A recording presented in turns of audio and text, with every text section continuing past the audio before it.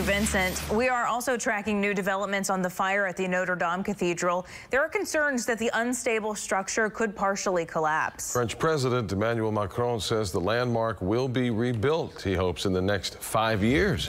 Channel 2's Jacob Rascon live with us from Paris this morning. He has the latest information. Good morning.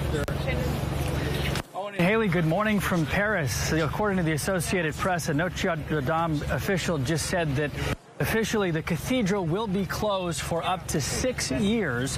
This is the first time we've heard that, even though we know, of course, that the cathedral will be closed. At the same time, we're expecting very soon the first official press conference from the fire brigade. There are a lot of questions about the response to the fire, even though all 400 firefighters gave such a valiant effort. We know that initially the fire alarm at 6:20 uh, didn't didn't uh, they didn't find any fire. It took them 23 minutes to find that.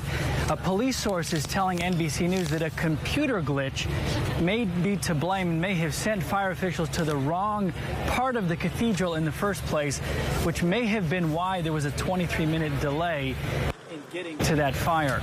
So some good news here as well. Nearly a billion dollars has already been pledged toward the rebuilding of the cathedral. A massive amount of money in such a short amount of time. This is the president says that he, he vows to try to rebuild in five years' time.